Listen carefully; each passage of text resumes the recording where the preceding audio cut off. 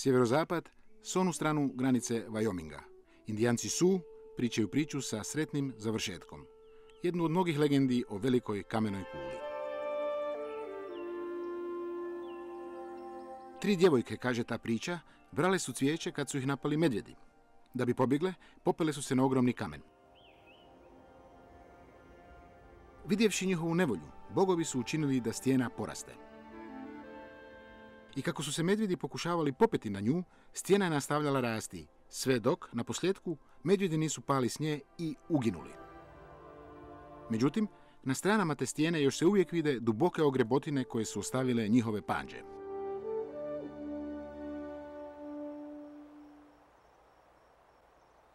Znanstveno objašnjenje je manje romantično. Većina geologa vjeruje da je monolit grlo nekog starog vulkana.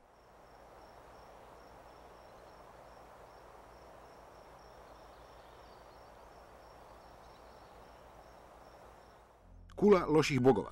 Tako su rani bijeli istraživači tumačili ime koje su joj nadjenuli indijanci Su, Devil's Tower, kula đavola. Danas je njena impozantna masa i dalje ambijent za legendu i mi.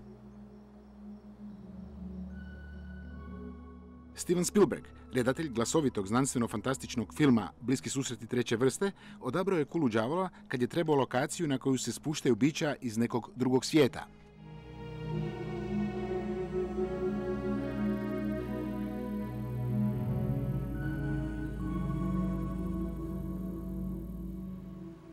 Američki vojni zapovjednik, koji je bio na čelu ekipe za topografska mjerenja 1875. godine, jednostavno je izjavio Ovo je vrh nedostupan bilo kome tko nema krila.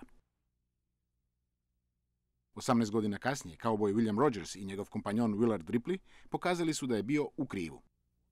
4. srpnja 1893. godine ovaj par proslavio dane ovisnosti popevši se na kulu đavola, koristili su preko stotinu metara visoke ljestve i niz klinova od tvrdog drveta, zabijenih u pukotine stjenkina zida.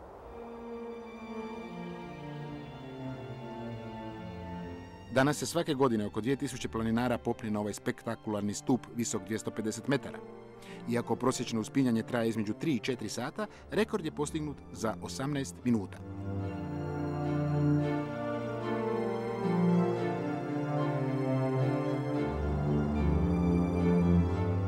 Godine 1906. ovaj neboder koji je stvorila priroda proglašen je nacionalnim spomenikom kule Đavola. Bio je to prvi od američkih nacionalnih spomenika.